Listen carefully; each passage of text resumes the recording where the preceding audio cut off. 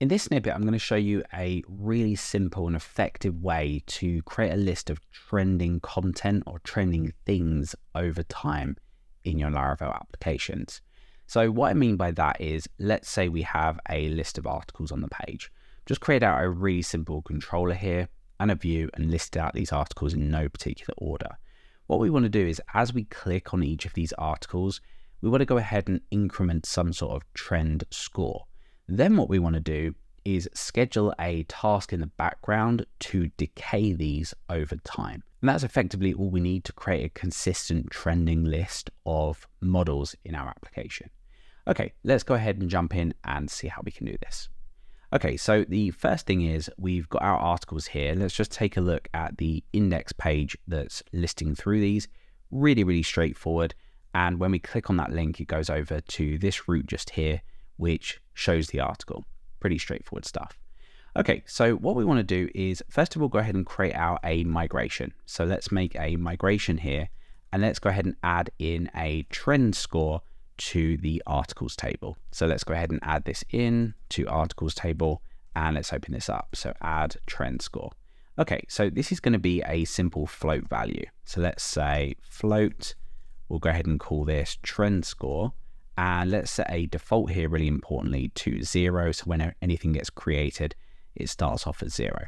So let's go ahead and migrate this. And yeah, sure enough, we've now got a trend score in here. What we can now do is head over to our web routes and we can order the articles by this trend score. So let's go ahead and order this by trend score in descending order. So we get the highest trending at the top. And if we head over, of course, we have no change at all. So what we're going to do is whenever something in your application is viewed you want to show as trending, we're really simply just going to increment that column. Now that's not going to do much. It's always going to push the most view to the top and it's never going to decay over time. But let's do that first of all. So let's take the article and let's just use the increment method here to increment that trend score. And just so we can keep an eye on this, I'm going to come over and output the trend score on the page. Okay, there we go. So we've got zero for all of these.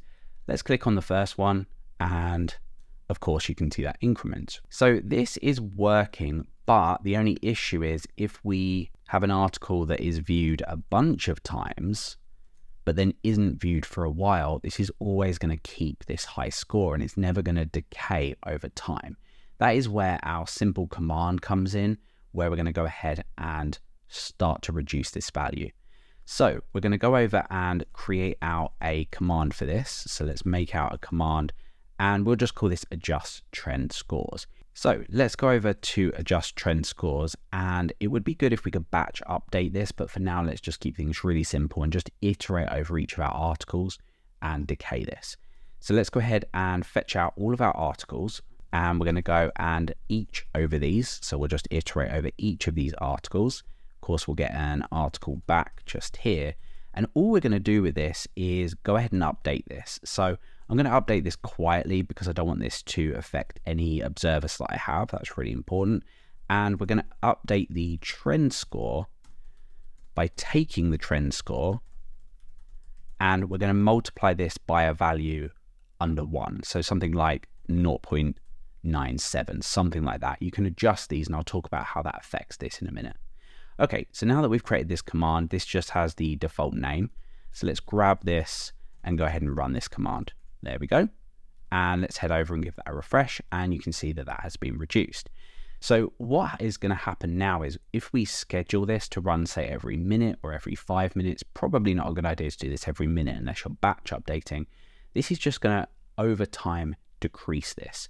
So let's run this a couple more times and let's head back over. So now when I click on this one, that's going to increment the score. But if this one hasn't had many views for a while, this will continue to decay and then this one will gradually catch up with it. So for example, if article 2 gets viewed a couple of times, of course in between there the trend score is still going to be reduced.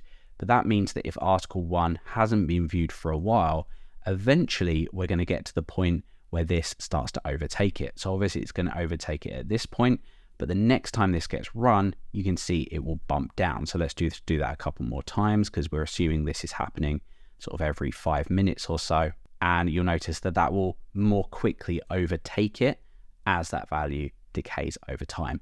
So this is a really common pattern for doing this. There are lots of other ways that you can do this without running a scheduled command, but I've used this really successfully and it works really, really nicely for training content. Okay, so what we're going to do now is look at scheduling this, and then I'm going to talk a little bit about how adjusting values makes this better. Okay, so let's go and just take the command name here. Let's come over to our console routes. Okay, so let's go ahead and bring in our schedule facade and we'll reference that command. And let's say that we want this to happen every second, just as an example. So now that I've done this, I can go ahead and either run PHP Artisan schedule work on my local machine, which will do this every minute, so it's not quite going to catch every second, or we could say schedule run, which is going to run but eventually close off. So when we run this, you'll see that these scores are just gradually decreasing, and when we click on Article 1, that bumps to the top. Article 2, meanwhile, is just continually decaying to the point that it doesn't become trending anymore. Now, you can adjust this in lots of different ways. So, for example, every second, obviously, with the method that we've used here, even with batch updating, is going to be really intensive. So, what I would do is typically schedule this for, let's say, every half an hour. So, if we come over to adjust trend scores, the higher this value is, the faster it's going to decay, and the lower this value is, the slower it's going to decay. So, for example, if I set this to 0.20, and we just hop over to the database and just reset these and we come over. Let's click on article 1 a few times and let's do article 2 once. Let's go ahead and rerun our adjust trend scores command and you can see that already what's going to happen is that's going to pretty much overtake it much more quickly. So that's one thing that you can adjust but typically I leave this at about 0.797 uh, and that gives it a nice steady decay over time. The other thing that you can do is adjust how frequently you actually run this command, and that's going to give you a more up-to-date value as this is viewed more often. So as each of your models is viewed more often, the faster that you run this, the more of a real-time trending list you're going to see. And that is pretty much it. Seems really simple, but I've used this really effectively to show a list of trending articles on the Codecourse website and it works really nicely. You might just want to tweak around the values as you go just to experiment with how fast things decay and how much of a sort of real time feel you want to this. So that's it. There is a really simple way to look at a trending list of items within your Laravel apps.